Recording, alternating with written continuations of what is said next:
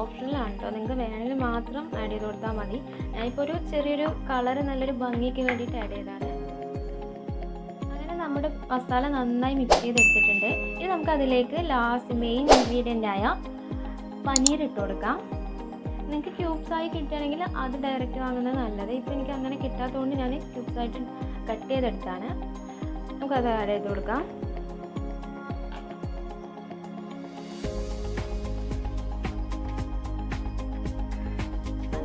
നമ്മളെല്ലാം കൂടെ നന്നായി മിക്സ് ചെയ്തെടുത്ത് നമുക്ക് അടച്ചു വെച്ചിട്ട് ഒരു അരമണിക്കൂർ റെസ്റ്റ് ചെയ്യാൻ മാറ്റി വയ്ക്കാം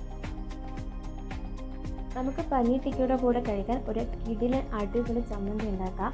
അതിനായി മിക്സിയുടെ ചെറിയ ജാർ എടുക്കുക. അതിലേക്ക് ഒരു മൂന്ന് പച്ചമുളക് കട്ട് ചെയ്തിട്ട് കൊടുക്കുക. പിന്നെ അതിലേക്ക് ഒരു ചെറിയ പീസ് ഇഞ്ചി കട്ട് ചെയ്തിട്ട് കൊടുക്കാം ഒരു കാ ടീസ്പൂൺ ചെറിയ ജീരകം നല്ല ജീരകം ആഡ് ചെയ്ത് കൊടുക്കാം. മല്ലിയില ഇട്ട് കൊടുക്കാം. നമുക്ക് ഇതിലേക്ക് ഒരു ഹാഫ് ലെമണിന്റെ ജ്യൂസ് ആഡ് ചെയ്ത് കൊടുക്കാം.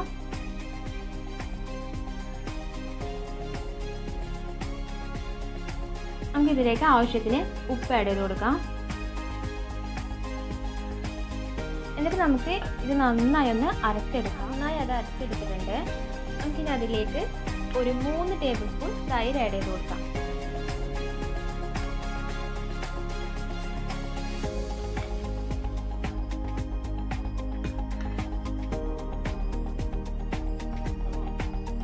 നമ്മുടെ ചട്നി നന്നായി അരച്ചെടുത്തിട്ടുണ്ട്.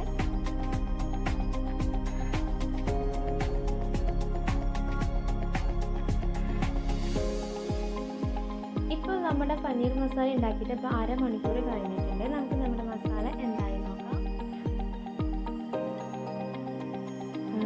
നന്നായി മസാലയും പനീറും എല്ലാം സെറ്റായിട്ടുണ്ട് നമുക്ക് ഒന്നുകൂടി നന്നായി മിക്സ് ചെയ്തെടുക്കാം. ആവശ്യത്തിന് ഉപ്പൊക്കെ ഉണ്ടോ നോക്കാം കേട്ടോ. പിന്നെ ഇതിലേക്ക് ഒരു സ്പൂണ് ഓയിൽ ആഡ് ചെയ്തിട്ടുണ്ടായിരുന്നു. മുന്നേ എനിക്കത് പറയാൻ മറന്നുപോയി ക്ഷമിക്കണം. ഞാൻ പനീർ ടിക്ക അറേഞ്ച് ചെയ്യാൻ വേണ്ടി ഇതുപോലെ ഒരു ചെറിയ സ്റ്റിക്ക് എടുത്തിട്ടുണ്ട്. നമുക്ക് ഇതിലേക്ക് പനീറും സവാളയും ക്യാപ്സിക്കും അറേഞ്ച് ചെയ്ത് കൊടുക്കാം. അപ്പോൾ ഒരു സ്റ്റിക്ക് എടുക്കുക അതിലേക്ക്. ഒരു രണ്ട് ക്യാപ്സിക്കം ഇതുപോലെ ചെയ്ത് കൊടുക്കുക.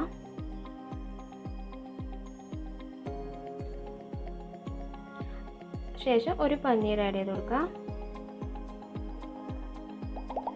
പിന്നെ ഒരു സവാളന്റെ ഒരു പീസ് ഇടുക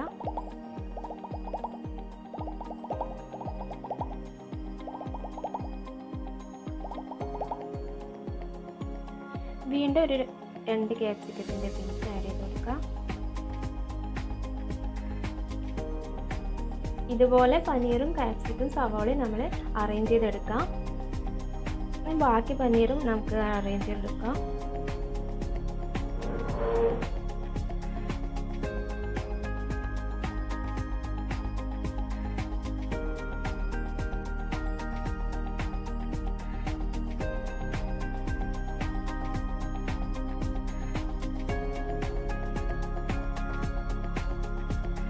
അപ്പോൾ പനീർ ടിക്ക ഫ്രൈ ചെയ്തെടുക്കാം.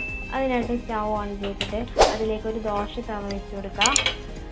ഞാനിവിടെ ദോശ തവ ഉപയോഗിച്ചിട്ടാണ് ഫ്രൈ ചെയ്തെടുക്കുന്നത്. നിങ്ങളുടെ കയ്യിൽ ഫ്രൈ പാൻ ഉണ്ടെങ്കിൽ അത് ഉപയോഗിച്ചിട്ട് ഫ്രൈ ചെയ്തെടുക്കാം. തവ നന്നായി ചൂടാവുമ്പോൾ നമുക്കതിലേക്ക് ഓയിലൊന്ന് ചെറുതായി സ്പ്രെഡ് ചെയ്ത് കൊടുക്കാം.